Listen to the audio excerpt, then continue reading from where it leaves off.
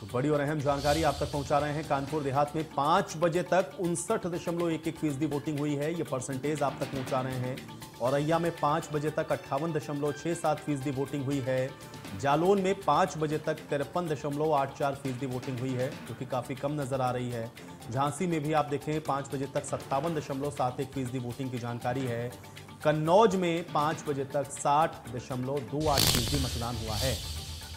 तो पाँच बजे तक के आंकड़े थर्ड फ़ेज़ के सामने आ चुके हैं और अब आधे घंटे से भी कम का समय है वोटिंग में।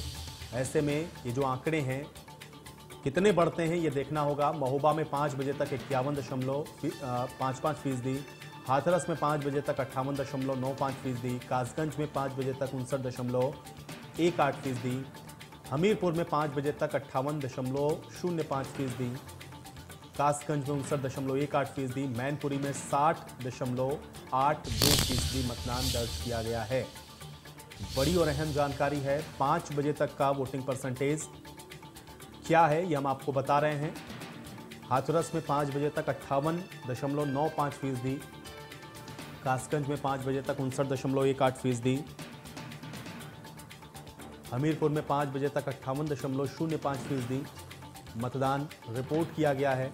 मैनपुरी में पाँच बजे तक साठ दशमलव आठ दो फ़ीसदी है। औरैया में पाँच बजे तक अट्ठावन दशमलव छः सात फ़ीसदी मतदान। कासगंज में पाँच बजे तक उनसठ दशमलव एक आठ फ़ीसदी मतदान हुआ है। हाथरस में ऐसे ही पाँच बजे तक अट्ठावन दशमलव नौ पाँच फ़ीसदी मतदान हुआ है।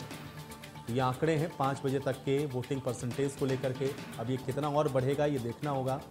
लेकिन 2017 से अगर आप इसकी तुलना करेंगे तो ये अभी फ़िलहाल कम नज़र आ रहा है। अब अगले आधे घंटे में कितना ये बढ़ता है ये देखना बहुत